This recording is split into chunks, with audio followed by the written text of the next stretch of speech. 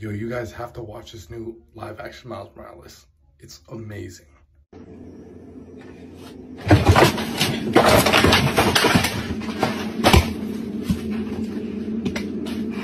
Why are you looking at me like that?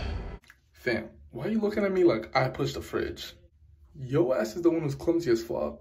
Bro got them lucky charms, but he wasn't so lucky.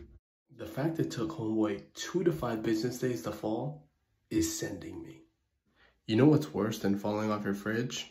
Getting hit on the head by cereal on the way down. Oh no, did did y'all see that shit? Look at this leg placement. Cause if he didn't break that door, then he definitely broke a bone. That freezer door is stronger than my last relationship. Straight up. Starting to think about it, with how strong those doors are, that company should use this video as an advertisement. I'm pretty sure if they did, it would probably go something like this. Introducing the new I Wish a Motherfucker Would 9000. Door so strong, if you're delusional like this guy who thinks he's a Mexican Miles Morales and hop on top of our doors, you will bust your ass. Worse than 50 Cent trying to promote vitamin water. Buying our fridges come with a free subscription to Life Alert because motherfuckers be jumping on our doors. If he made a rap, it would probably sound something like this. Just fell so hard, don't know where I'll work. Busting my ass, now I need Life Alert. I'm not doing good. The situation sucks. I've fallen and I can't get up. In all seriousness, are you okay, bro? Because that looked like it hurt. Not trying to be rude, but if you're stupid enough to jump on top of your fridge and pretend to be a fictional character and you bust your ass, then I'm sorry. You definitely deserve that shit. And it gets even funnier when you look at his face. Because this is a face of a wise man.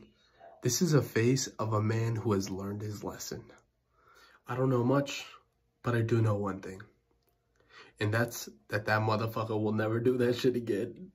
800 588 You won't slip and bust your ass. Today. All jokes aside, I hope the fridge is okay. Curtis Jackson again. You guys know, without a doubt, I promote vitamin water the best. Vitamin water! None of those other guys would do that. Shit. That wasn't part of the skit. Wow, so you're just gonna stand there while I hurt myself and not make a time machine and go back in time to warn me about the mischievous acts that I've done to myself?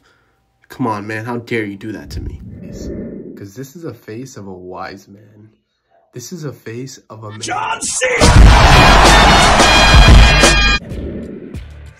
You won't.